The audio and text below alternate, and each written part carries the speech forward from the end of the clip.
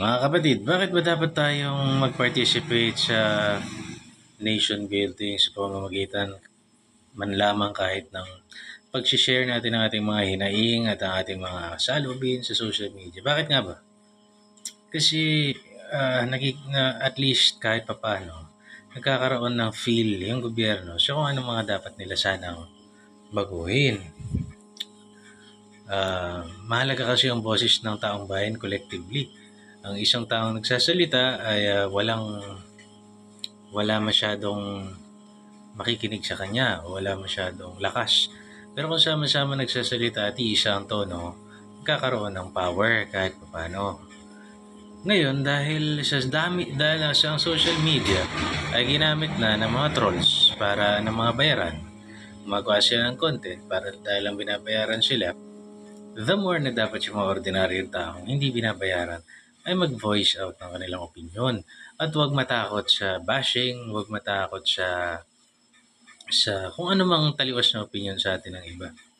Kasi alam nyo, ako I respect everyone's opinion. Ang hindi ko lang talaga ma-respect ay yung mga bayaran lang. Kasi marami eh. Yung, yung ayaw kong politiko gusto niya kasi maring nakatulong sa kanya o inaakala niya nakatulong sa kanya o nalin lang siya. At maring sa kanila namang kampo, ganun din naman tingin nila sa akin. Mukha lang akong bayaran siguro to o nalin lang siya o yun ang paniniwala niya dahil nakinabang siya or whatsoever.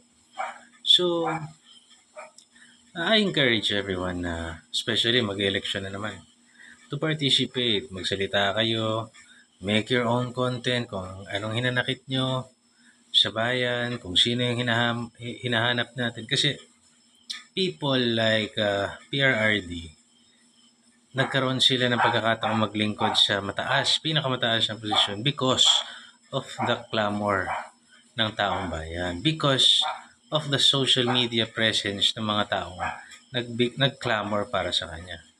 Ang iba doon nasilaw sa pera, tumiwalag sa kanya kung sinong nanalo, doon na sila.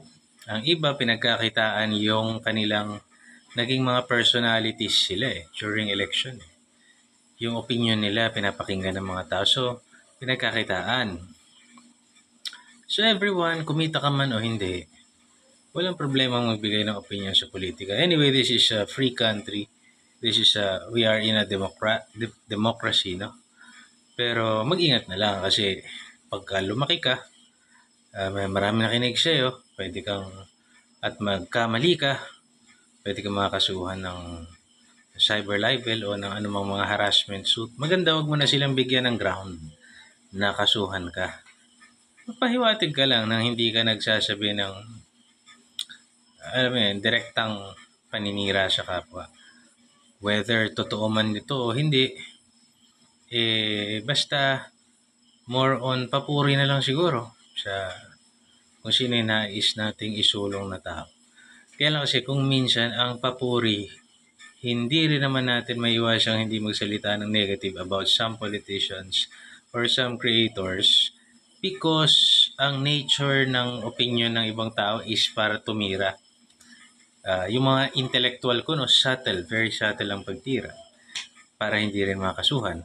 Yung iba naman ay uh, talagang bayaran silang rumatrat para para manira. And uh, sana mas maging malakas yung boses lagi ng mga taong gusto naman talaga ng maayos yung bayan natin. Kasi let's face it, marami sa atin hindi naman mayayaman. So, gusto naman natin na maayos yung kalagayan ng mga tao, ng health, yung, yung, masyado na kasi tayong huli. Yung safety and security, 'di ba? Yung yung mga buwis sana nababawasan, yung pagkalinga sa mga kalusugan na, natin, yung seguridad ng, ng mamamayan. Gusto naman natin yung mga naghahanap buhay, uwi ng bahay, safe. Di ba? Dadalaw sa kanyang pamilya or kung saan man, safe. Walang mangurusyonaga, walang adik. Mag-hiking, walang NPA. Di ba? Uh, sana ganun. Uh, drugs, walang drugs. Di ba? Mag-focus na lang sa paghahanap ng trabaho, pag-exercise, o pag negosyo yung mga pamilya, kaysa mag-imbita ka ng addict sa buhay mo. Sana ganun eh. Kasi it all begins with us. Di ba? kahit gaano katino yung leader natin, kung hindi natin susuportahan at hindi natin siya ipaglalaban, collectively, walang mangyayari. Hindi kasi pa pwedeng, for example, ako, ipaglalaban ko, kunwari si Pangulong Duterte, wala naman akong kasamang pinaglalaban siya. Tapos masyadong maingay yung troll army nung kabila. Paano? Eh, tignan nyo na nga lang yung nangyari nung EDSA, EDSA 1 o ano akala natin yun na yung voice ng sambayanan? Hindi naman. Yung, yung mga nag-edsa-edsa doon, sila lang talaga yung magugulo. Marami pa ron, alam mo na, makakaliwa. Yung iba, hakot pa, binabayaran pa. Diba, alam mo yun? So, let the real voice of the people sana be heard. So, in our own small small capacity, I encourage everyone na magsalita pa paano ba sila ano bang maganda nung panahon ni ng ganito, ni Pangulong Duterte, paano nakatulong sa kanila. And everyone, then kung sino yung manalo, di bahala na. Kaloob na siguro ng Diyos yun.